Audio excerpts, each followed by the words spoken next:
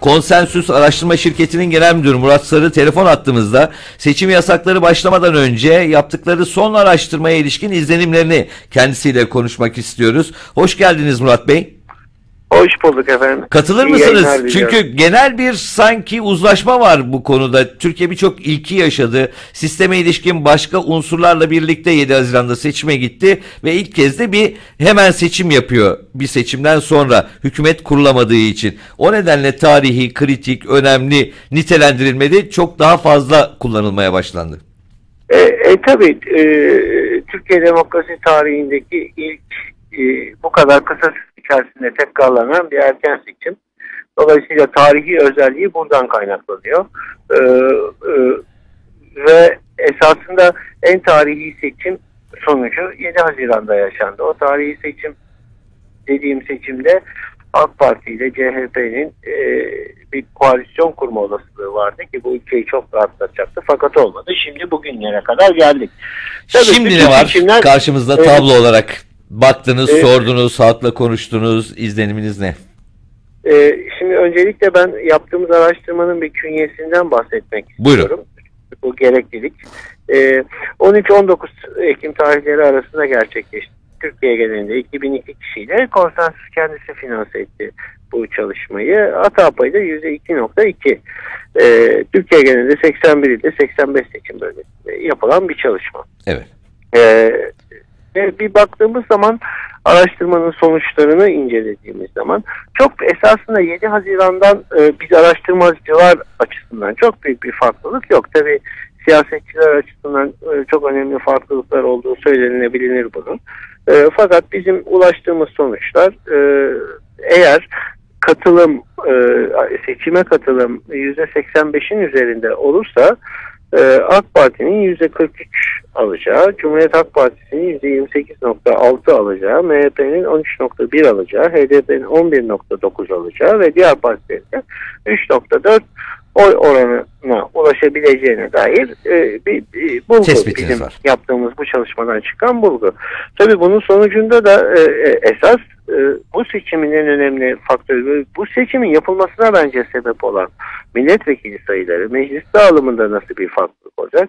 Eğer böyle sonuçlanırsa yine e, bir ufukta bir tek parti hükümeti gözükmüyor. AK Parti 272 tane sandalye çıkartıyor. CHP 146 sandalye çıkartıyor. MHP 57 sandalye çıkartıyor. HDP de 75 sandalye çıkartıyor mecliste. Yani bir baktığımız zaman 8 Haziran'daki durumla 2 Kasım'da karşılaşmamız çok olası. Burada elde ettiğiniz sonuçlardan benim görebildiğim kadarıyla tabloya 7 Haziran'la da karşılaştırdığımızda e, HDP'de bir düşüş var. Bunu PKK ile çatışmaya mı bağlayalım? E, e, evet yani e, sonuçta e, 7 Haziran'da Cumhuriyet Halk Partisi seçmenler özellikle geçmişte 2011'de Cumhuriyet Halk Partisi'ne oy veren seçmenler barajı geçsin e, tek başına AK Parti iktidar olmasın diye HDP'ye yönelmişlerdi. Tabii yüzde iki, iki buçukluk bir kesim. Dolayısıyla HDP'nin oyları %13'lere çıkmıştı. Fakat 7 Haziran sonrasında hemen başlayan bu çatışma ortamı da en son süreçte yaz ortamına kadar varan işte Ankara'da yaşanan evet. lanet e, bombalama olayından sonra e, bir, bir kaçış söz konusu oldu. Ta, e, esasında o Ankara bombası çok ilginç bir şey. AK Parti de bizim anketlerimize epey %44'ler %45'ler seviyesinde çıkarken bir anda durdu. %43'lere doğru bir gerilemeye başladı. O Ankara bombalamasından sonra.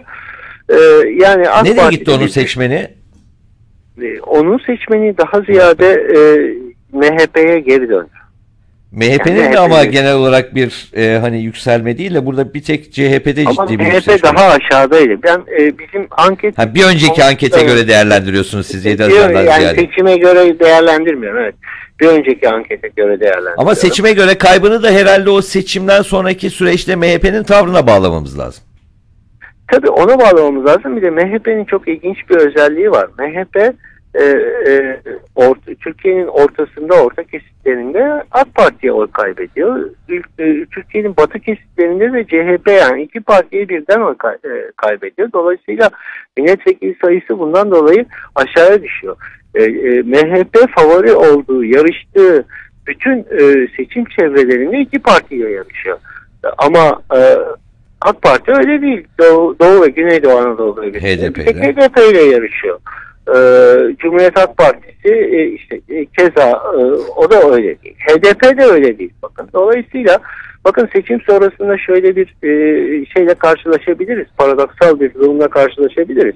Ya MHP HDP'den daha yüksek oy alıp daha az milletvekili sayısına sahip olabilir. var. Evet. Ee, ve bunu, bunun sebebi de bu biraz evvel anlattığım e, hep bütün yarıştığı yerlerde üç partiyle yarışmasından kaynaklı. CHP'deki durumu e, bir önceki araştırmanıza göre değerlendirirsek ne diyelim?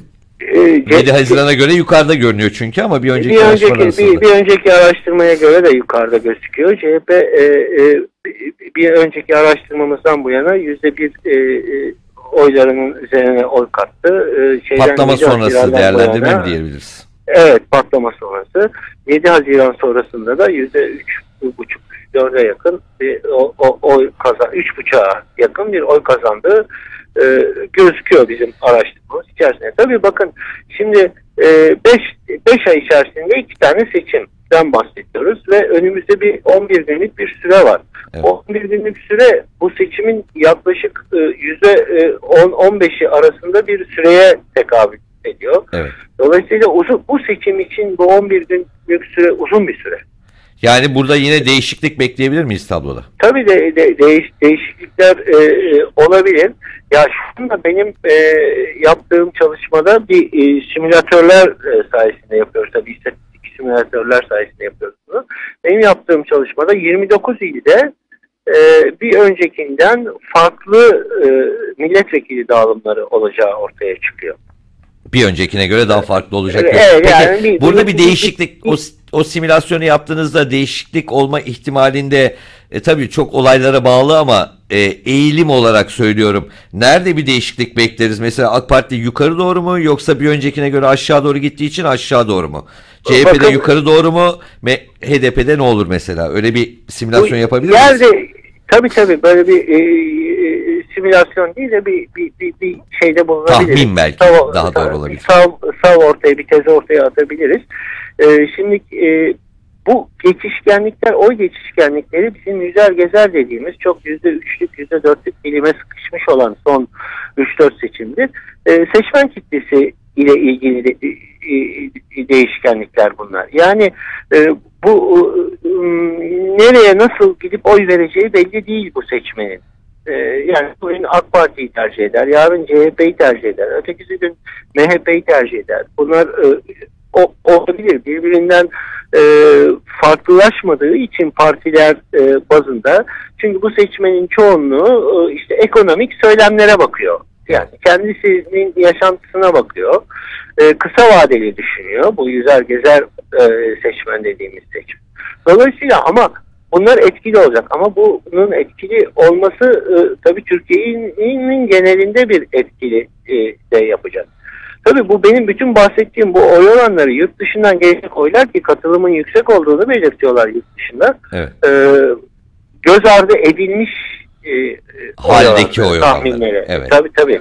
Oradan Ee, gelecekler de tabloya farklı katkılar sağlayabilir diyorsunuz. Evet bazı illerde çok farklı tablolara sebep olabilir oradan gelecekler. Bir- Çünkü bazı illerde milletvekillikleri çok küçük oranlarla bir taraftan bir tarafa geçiyor. Evet 800 oyla bile geçtiği oldu. Bir araştırma daha yapacak mısınız 1 Kasım'a kadar?